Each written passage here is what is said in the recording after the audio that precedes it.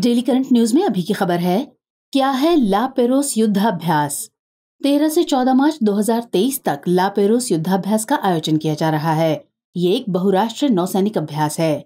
2023 में ला पेरोस अभ्यास का ये तीसरा संस्करण है। ये हिंद महासागर क्षेत्र संक्षिप्त में आईओआर में किया जा रहा है।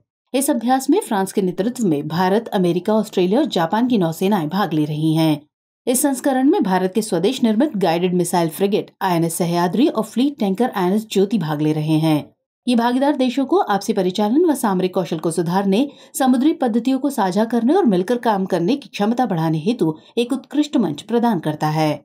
अब बात करें ला पेरूस युद्धाभ्यास की तो ये एक द्विवार्षिक युद्धाभ्यास है। इसका आयोजन फ्रांसीसी नौसेना द्वारा किया जाता है।